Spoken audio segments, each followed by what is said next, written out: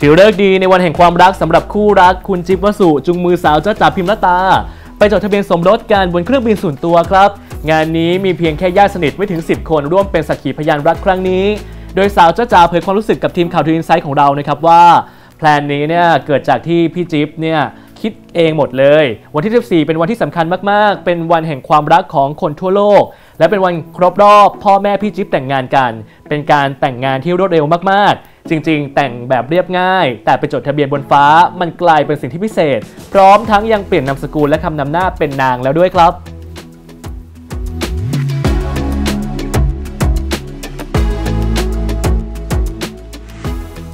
โอ้แพลนนี้มันเกิดขึ้นจากการปรับหลายรอบมากของเราทุกนะคะ แต่ว่าเรื่องของไอเดียเนี่ยเป็นที่จิ๊บเลย คือวันที่ 14 เนี่ยมัน มันเป็นวันที่มีความหมายมากๆกับครอบครัวเขาอยู่แล้วนะคะหนึ่งก็คือเป็นวันวาเลนไทน์วันความรักของคนทั่วโลกใช่ไหม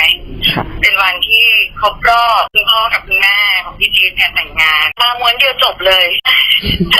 จดทะเบียนสมรสเป็นเรื่องเป็นราวทีนี้การจดทะเบียนสมรสจริง ๆ ก็ใช้บุคลากรเนี่ยน้อยมากเราไม่ได้มีแขก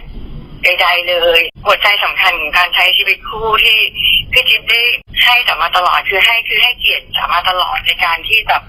ทำอะไรต่างๆนานาอย่างเงี้ยค่ะ มันคือการจดทะเบียนสมรสความเรียบง่ายของเรา มันถูกขึ้นไปจดทะเบียนสมรสบนฟ้า มันมีเครื่องบินเจ็ต มันมีต้องทำอะไรหลาย ๆ อย่างบนนั้นอะไรอย่างเงี้ยค่ะ มันก็เลยกลายเป็นว่า จะเรียบง่ายดีไหมนะเปลี่ยนสิคะไม่ได้เปลี่ยนนามสกุลนะคะ คำนำหน้าคำนำหน้าก็ไปด้วยค่ะขอบคุณนะคะค่ะสวัสดีค่ะขอขอบคุณที่ติดตามรายการ Entertainment Day นะครับ ทางช่อง True Insight HD เรายังมีคลิปดีๆแบบนี้อีกมากมายครับ ฝากกด subscribe แล้วก็กดกระดิ่งกันด้วยแหละครับ รวมถึงติดตามสดๆ ก็ได้เหมือนกันที่ Facebook Fanpage ของ True Insight HD และเราก็ยังมีโซเชียลมีเดียอีกหลากหลายช่องทางฮะ สามารถคลิกได้ที่ลิงก์ใต้วิดีโอนี้ได้เลยครับ